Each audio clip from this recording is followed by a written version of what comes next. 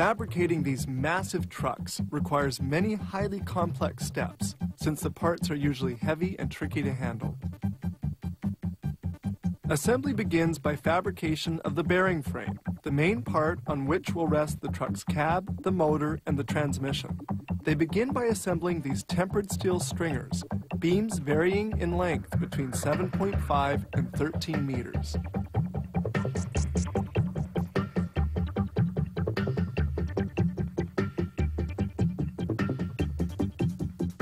The chassis is made as a huge Meccano set.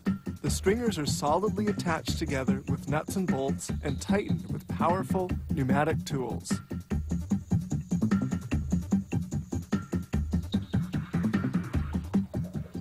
Once assembled, the main chassis is transported to another stage of construction.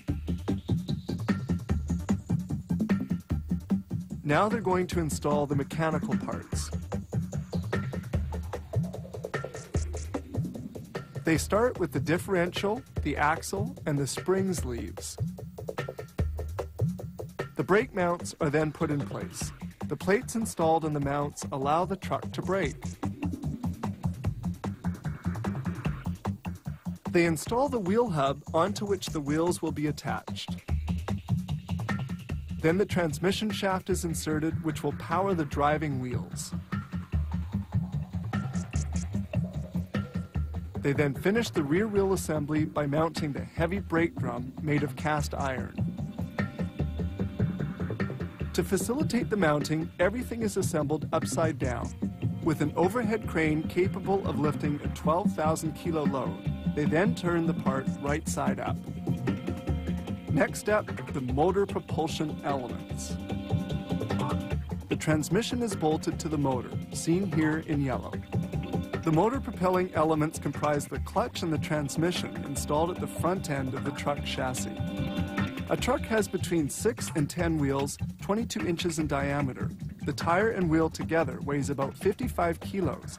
Because of this heavy weight, the wheels are installed with the help of this powerful tool. This bolt fastener allows tightening of all the wheel nuts at the same time. The mechanical portion is ended, and they now proceed with the cab assembly. This begins with painting.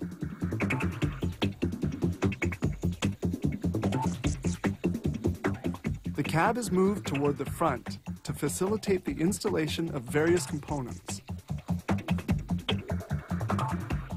This worker attaches the support for the horn to the roof of the truck cab.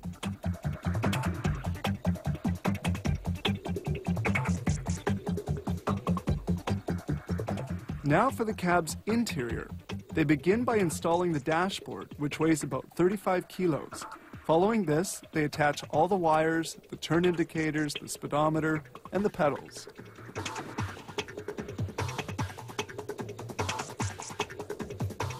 The seats are then installed, and the cab work is now all completed. It's bolted onto the chassis. Now for the motor's hood. They finish off with the lights, the exhaust pipe, and the mud guards. The truck is now almost ready to hit the road. They start it up and verify that everything's operating properly, and it's now ready for delivery to the customer.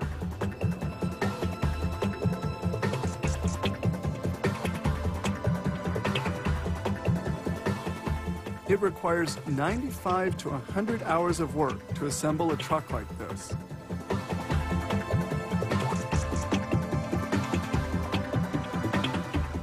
In spite of their 5,000 kilo weight, these trucks can move along at a top speed of 120 kilometers per hour, and they can carry a load of some 28 tons.